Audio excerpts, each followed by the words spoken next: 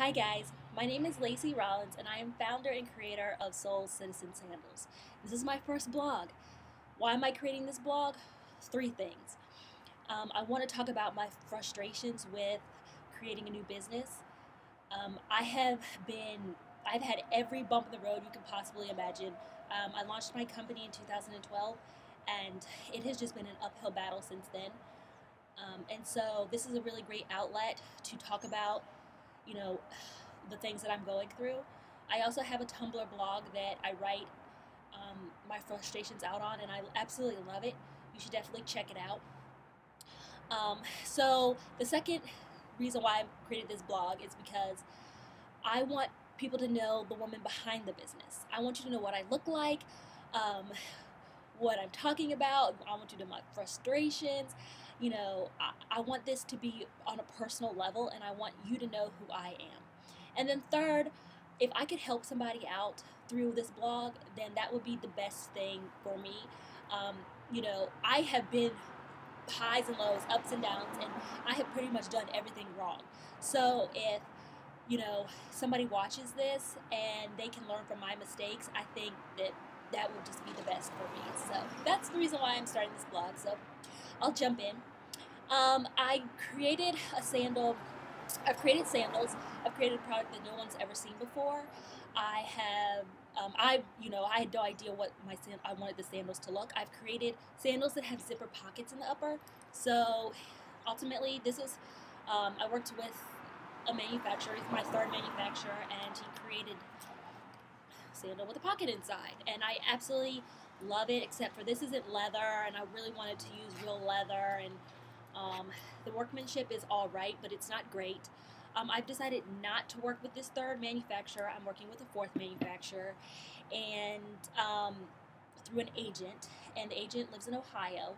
Um, I really like talking to the agent because he's very quick to respond to my emails. Um, I've gotten a lot of really great um, feedback and response from the agent, except there's just like the factory over in China is not flexible enough for me, and they do a um, they work differently than the way I am used to. Um, my first, second, and third manufacturer were completely different than this manufacturer and the agent that I'm working with now. So you know, it's very frustrating, and I've kind of I'm at the point where like because they want me to shell out money and money and more money, and I'm like, well, can you make the sample and then let me see the sample and and can you fix and change things on the sample? And then they want me to like pay for everything and pay for more and more samples and shell out more and more money. And i'm like well it's very frustrating. And, and i guess i'm just not used to that because i'm used to working with a, a manufacturer uh, and a company that says here's your sample. What can we change? And we'll change it for free and then we'll give it to you. And this this agent and his company they want to make the sample and then send it to you and then make a new sample, but you have to pay for the new sample. So anyway, that's really frustrating. And um, I really, but I'm at the point where it's like, okay, just here's the money. I just want a sandal and I want to get out there. I want to sell these sandals to um, gift shops here in Richmond. I live in Richmond, Virginia, and I want to get it out there.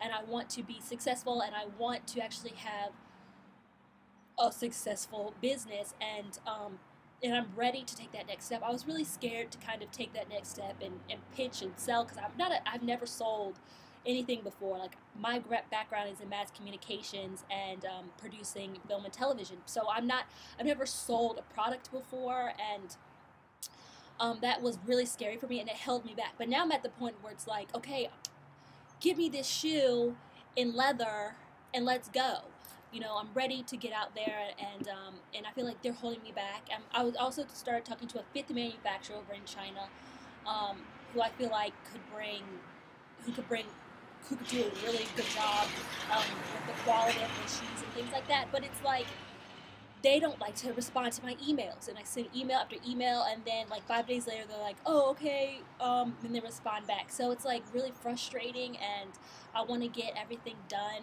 and I want to do it quickly. And it's March now.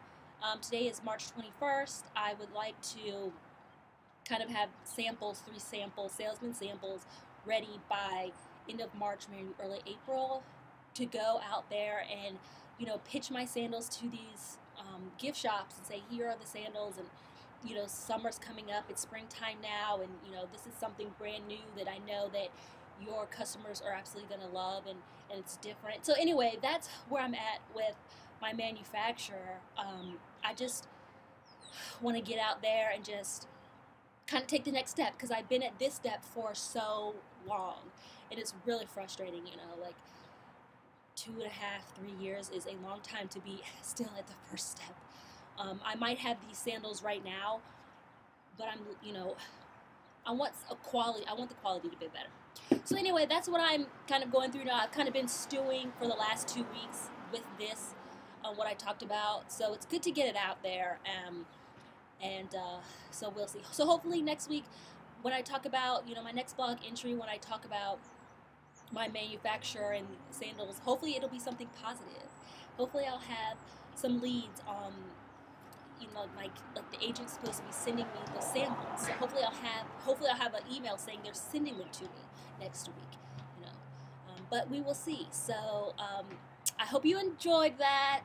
Um, there definitely will be more to come. I'm definitely going to be talking about my frustrations more. So um, thanks.